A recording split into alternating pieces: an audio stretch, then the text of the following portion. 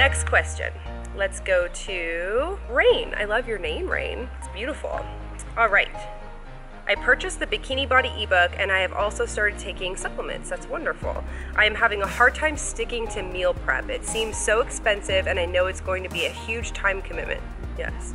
Can you please give me some tips on how you meal prep to make it easy and what you store your meals in for the day. I haven't started the program yet, but I wanted some tips on how to get over being self-conscious when you are starting these workouts in a gym full of fit people.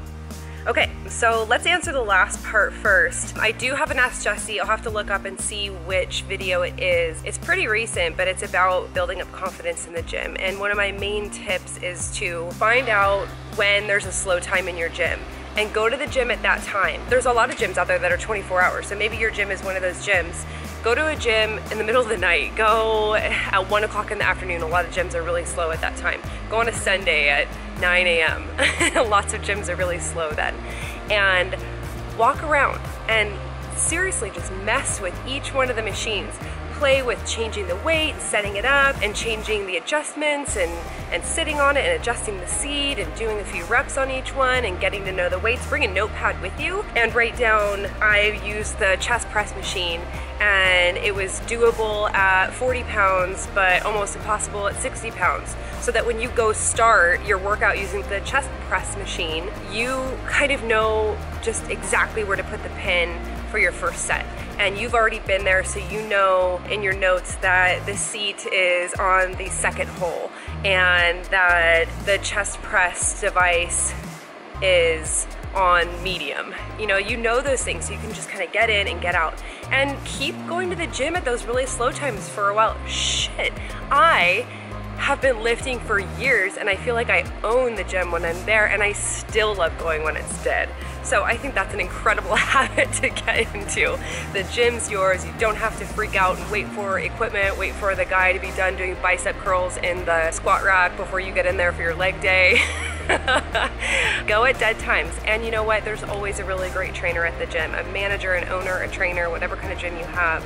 Set an appointment. Just ask them, you know, it doesn't have to be a training appointment. Just ask them for an appointment where they show you all of the equipment. It's as simple as that. That's their job. So that will really help you. And having a plan. So you said you just bought the program. That's amazing. Welcome to Jessie's Girls. You get to walk into the gym with a sheet of paper that says exactly what exercise you're gonna do, exactly the sets that you're gonna do, exactly the reps that you're gonna do. So you can kind of take that worry out and just focus on getting yourself familiar with where in the gym the piece of equipment is and how the machine works. So if you can combat those two things by going to the gym at a dead period of the day or the week, or talking to a trainer at the gym to kind of show you around a little bit, I think you'll feel better when you're in there. And then of course, once you start the program and you just start lifting like the beast, you're just gonna be like, psh, psh, watch out everybody, I'm here. okay, Rain, the rest of your question is about meal prep. So here's the deal. I don't have time to meal prep. I used to when I was uh, not a mom.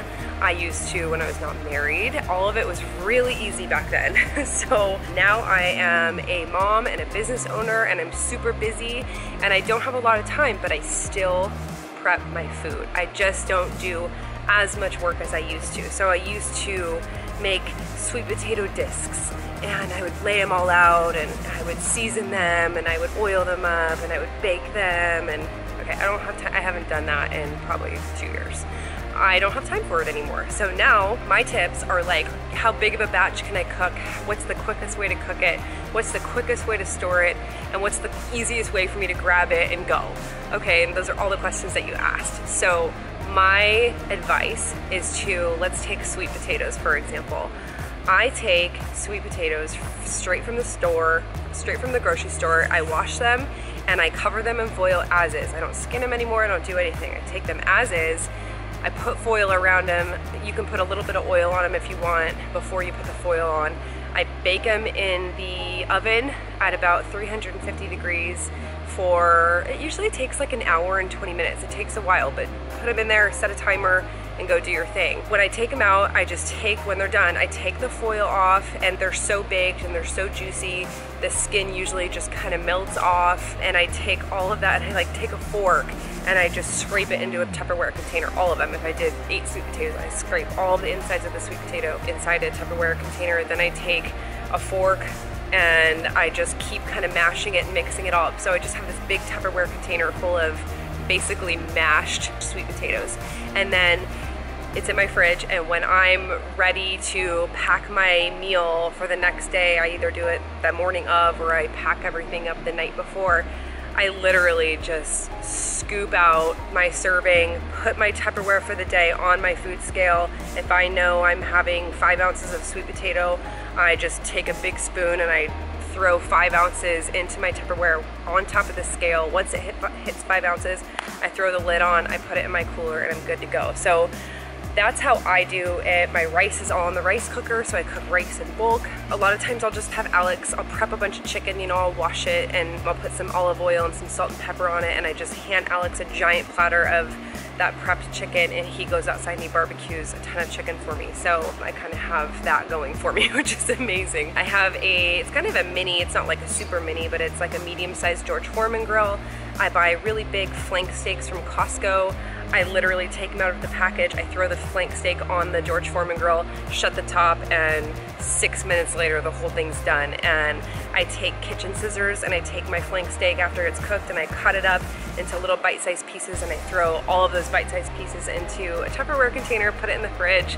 So again, just like the sweet potato, in the morning I take that out, put my food scale on the kitchen counter, take my Tupperware container for the day, and I put it on top of the food scale and measure out really quick all those bite-sized pieces of flank steak until it measures four ounces, five ounces, whatever I'm having.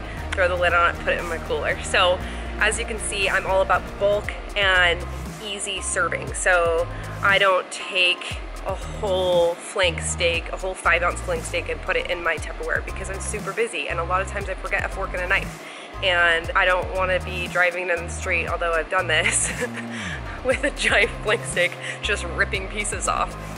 Hey, sometimes you gotta do what you gotta do, but I'd much rather drive down the street with little bite-sized pieces of steak.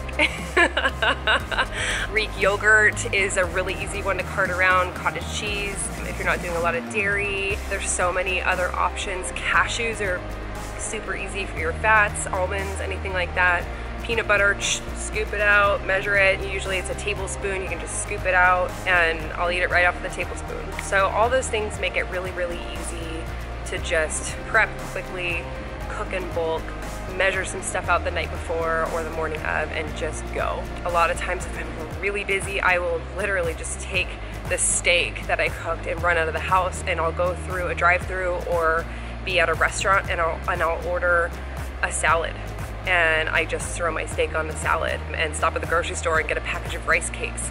And there's your there's your veggies, there's your steak, your protein, and there's your carb rice cake. And I've got cashews in my bag, and there's my fats. Sure, it got all pieced together, but I made it work and I got my meal and I got my macros in, and that's the most important thing. So if you want to do it, you'll do it. And that's really how I feel about it. I don't have time for it. It is a nuisance it is something that I have to try to do. It's not something that's just easy and I have people cooking for me and I have lots of time. It's hard, but I make it a priority and I want to eat that way. So I just do it. And there are ways, like all the things I just mentioned, to make it easy. So if you have the time, you can cook these beautiful, amazing seasoned meals and sweet potato discs, but uh, I don't have time for that. So I just cook a whole bunch of shit, throw it in a Tupperware container, and spoon it out when I need it. so I hope that helps.